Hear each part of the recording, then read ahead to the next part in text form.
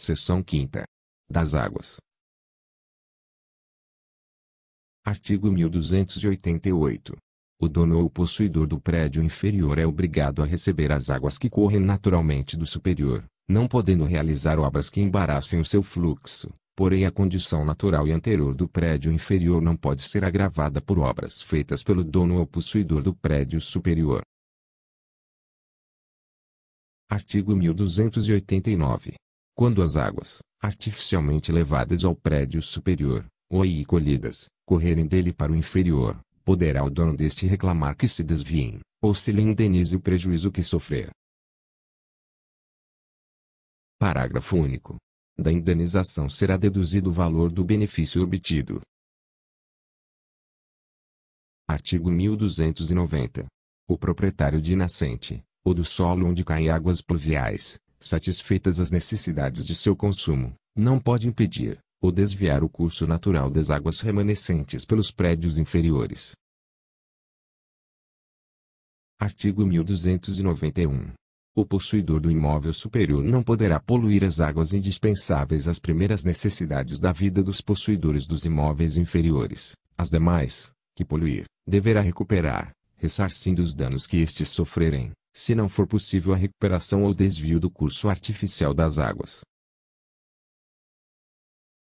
Artigo 1292. O proprietário tem direito de construir barragens, açudes, ou outras obras para represamento de água em seu prédio. Se as águas represadas invadirem prédio alheio, será o seu proprietário indenizado pelo dano sofrido, deduzido o valor do benefício obtido. Artigo 1293. É permitido a quem quer que seja, mediante prévia indenização aos proprietários prejudicados, construir canais, através de prédios alheios, para receber as águas a que tenha direito, indispensáveis às primeiras necessidades da vida, e, desde que não cause prejuízo considerável à agricultura e à indústria, bem como para o escoamento de águas supérfluas ou acumuladas, ou a drenagem de terrenos, Parágrafo 1.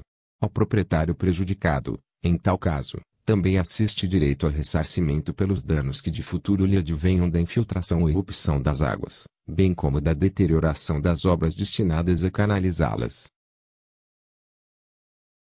Parágrafo 2. O proprietário prejudicado poderá exigir que seja subterrânea a canalização que atravessa áreas edificadas, pátios, hortas, jardins ou quintais, Parágrafo 3 O aqueduto será construído de maneira que cause o menor prejuízo aos proprietários dos imóveis vizinhos, e a expensas do seu dono, a quem incumbem também as despesas de conservação. Artigo 1294. Aplica-se ao direito de aqueduto o disposto nos artigos 1286 e 1287. Artigo 1295. O aqueduto não impedirá que os proprietários cerquem os imóveis e construam sobre ele, sem prejuízo para sua segurança e conservação. Os proprietários dos imóveis poderão usar das águas do aqueduto para as primeiras necessidades da vida. Artigo 1296. Havendo no aqueduto águas supérfluas, outros poderão canalizá-las, para os fins previstos no artigo 1293 mediante pagamento de indenização aos proprietários prejudicados e ao dono do aqueduto, de importância equivalente às despesas que então seriam necessárias para a condução das águas até o ponto de derivação. Parágrafo único. Tem preferência os proprietários dos imóveis atravessados pelo aqueduto,